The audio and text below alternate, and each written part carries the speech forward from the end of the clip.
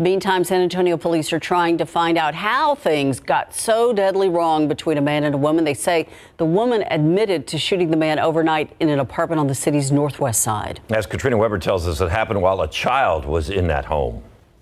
A call from a woman had San Antonio police crowding into this parking lot at the Preserve at Westover Hills apartments overnight. They say the 23-year-old told them she had shot a man after 2:30 this morning. Initially, a police report said unlike the officers who she wanted there, the woman told them the 41 year old man was uninvited, someone she had tried to keep away through a restraining order. Officers at the scene told us the man was shot in his head and died. Homicide investigators spent the next few hours trying to sort out what happened, going through the ground floor apartment in the 1500 block of Northwest Crossroads. According to police, the man and woman were not alone in that apartment at the time of the shooting. They say there also was a baby inside. Police took the infant from the home to be placed with another relative. They say the child was not hurt.